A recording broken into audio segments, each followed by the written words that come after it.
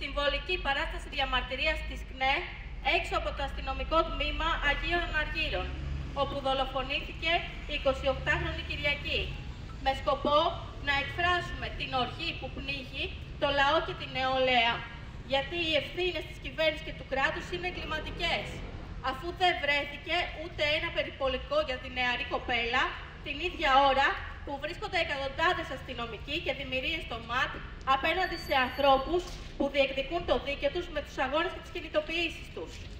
Δυναμώνουμε τη φωνή μας. Συνεχίζουμε τον αγώνα μας για να αποδοθούν όλες οι ευθύνες, να τιμωρηθούν οι ένοχοι, να πάρθουν γενναία μέτρα ολόπλευρης κοινωνικής προστασίας των γυναικών από την πολύμορφη βία. Δίνουμε ραντεβού στις 7.30 ώρα στο Σύνταγμα στη μεγάλη κινητοποίηση της ΚΝΕ. Σάκες!